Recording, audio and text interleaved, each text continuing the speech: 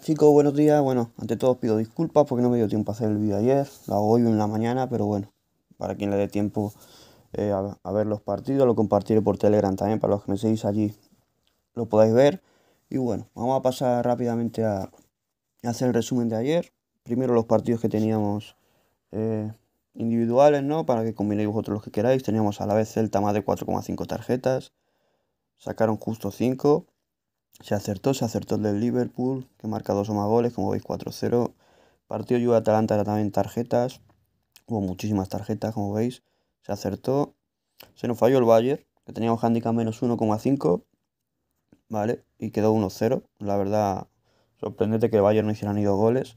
Pero bueno, así es la cosa. Villarreal-Barcelona teníamos más de 7,5 corners. 8 corners, se acierta. Y nos falló el partido del Niza. También sorprendente que el Niza no haga ni un gol y perdió 0-1, ¿vale? Entonces, bueno, vamos a quitar estos partidos. Liverpool Juve, Bayern, eh, Villarreal y Niza. Y de la combinada que teníamos cuota 8.51, igual nos volvimos a quedar a un gol en el Fulham. Teníamos más de, de 2,5 goles, que diga. Se quedó 1-1. Marcó muy rápido el Fulham y luego ya le empataron minuto 72. No hizo más goles. Teníamos en el partido de Hungría más de 2,5, como veis 1-2.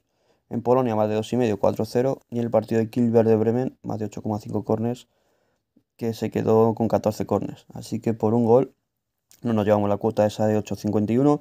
Así que nada, ahora vamos a pasar a, a mandar los partidos para hoy. Así que nada, muy atentos y vamos con los partidos de hoy. Chicos, vamos ya con los partidos para hoy. Vale, primero las recomendaciones, ya sabéis.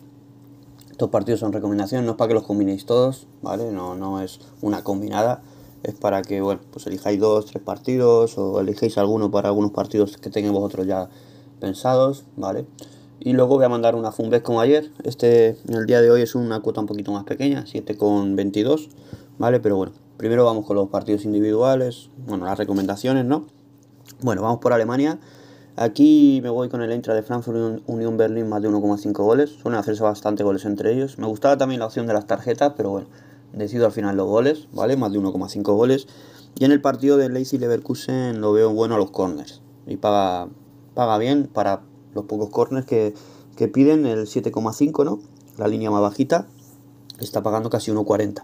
Así que bueno, perdón. Vamos con el Leipzig Leverkusen más de 7,5 corners, ¿vale? Luego en España, no he elegido todos en España porque por horario a la hora, a la hora que estoy grabando el vídeo, pues por ejemplo, el de Betty Levante, que es dentro de una hora y media, pues mucha gente no lo iba a ver, ¿vale? Entonces, voy a elegir los de un poquito más tarde. En este caso empezamos en el Cádiz Atlético de Madrid. Me parece buen partido a los goles, suelen hacerse goles entre ellos, aunque Cádiz no es de muchos goles, pero bueno, suele hacer, suele hacer su gol también y bueno, si no yo creo que Atlético de Madrid puede hacer los dos goles hoy. Debería de ganar para seguir ahí arriba, pero bueno, vamos con Cádiz Atlético de Madrid, más de 1,5 goles, ¿vale? Que está pagando casi 1,40. Y el partido Madrid-Sevilla me gustan también a los goles, más de 2,5. Y está pagando bastante bien, he visto que estaba pagando casi 1,90. Eh, aquí vamos a ver.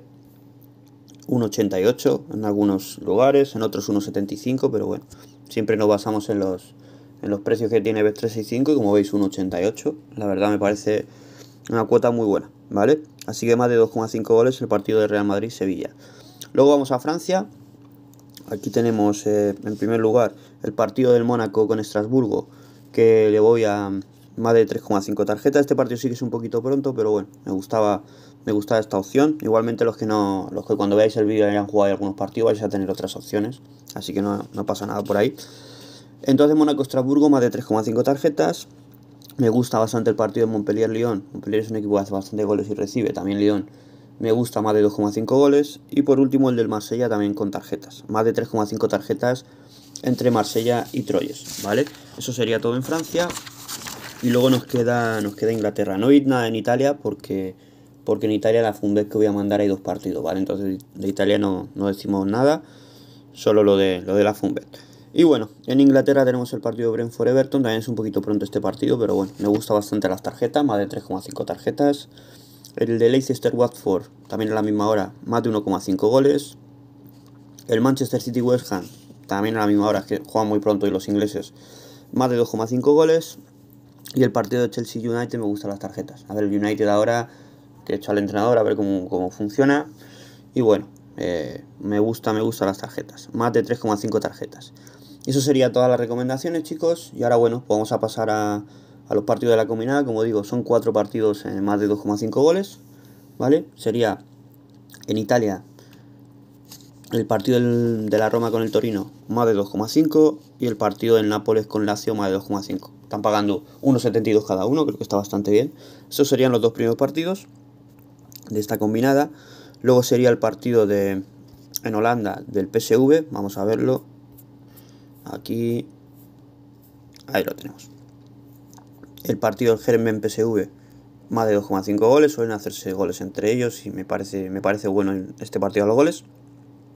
Y para acabar, iríamos a Suecia, donde se está jugando la liga, penúltima jornada. Como vemos aquí, eh, faltan dos partidos. Me voy en el partido del Malmo con Kalmar. Kalmar también necesita, necesita ganar para intentar llegar ahí al tercer puesto que le daría competiciones europeas. Lo tiene prácticamente imposible, ¿no? Pero bueno, Malmo sí que tiene que ir a ganar. Tiene, tiene un punto de ventaja y bueno, si ganase este partido, pues se pondría muy bien para luego cerrar la liga en casa, ¿no? Y bueno, son, son equipos que suelen hacer goles y recibir bastantes goles, así que me gusta el partido de Calmar Malmo más de 2,5. Entonces esos serían los cuatro partidos en la combinada, como repetimos, Roma Torino más de 2,5 goles, Nápoles Lazio, Jerenbin PSV y Calmar con Malmo. Los cuatro partidos más de 2,5 goles eh, pagan una cuota de 7,22. Así que nada chicos, eso sería todo. Como os digo, pido disculpas por no hacer el vídeo antes, pero bueno, a veces uno no tiene tiempo. Ya os dije que en este mes Seguramente habrá algún día que incluso no pueda subir vídeo porque ando bastante liado. Pero bueno, eh, así es la cosa. Pero bueno, igualmente hay vídeo, así que nada. Espero que dejéis muchos likes, chicos, muchos comentarios, suscribiros los que no estéis suscritos y nada. Mandaros un gran saludo, que paséis muy buen domingo y nos vemos en el próximo vídeo.